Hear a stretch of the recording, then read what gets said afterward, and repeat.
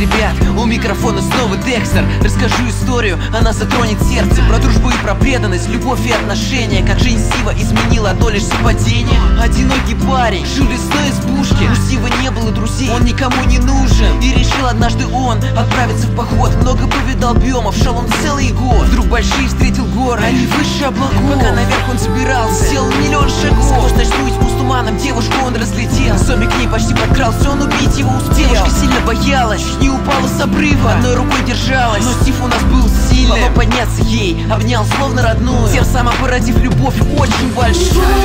Стоит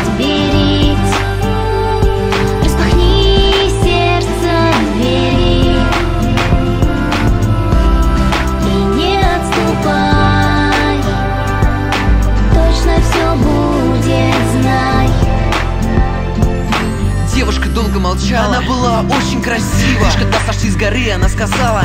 Предложила зайти в гости, каплю пообщаться. Он, конечно, был не в силах отказаться. Жила она недалеко, как и Стив одна. Он решил ей помочь, ведь была бедна. После недолгих раздумий жить у нее остался. И вернуть прошлую жизнь никогда не пытался. Прошел уже десяток лет, у них появились дети. Эта пара была счастливее всех на свете. Построил новый дом, жили хорошо они. И решили вместе коротать последние дни Вскоре собрались на гору, вспомнить старое время. Было все как в прошлый раз, только взяли детей. Утром вышли, на закате были на горе. Мысли Стива перемешались, словно во сне. Кругом росла трава, он чуял свежий воздух Обняв семью, он понимал, что такое свобода. Сторону, слеза покатилась Но это слезы радости, просто невыносимо Стив, жена и два ребенка сидят на обрыве Смотрят двое на закат, он рад, что дети с ними Вдруг Спросили они, Мама, как вы познакомились? а в ответ лишь только Это долгая история. Любовь стоит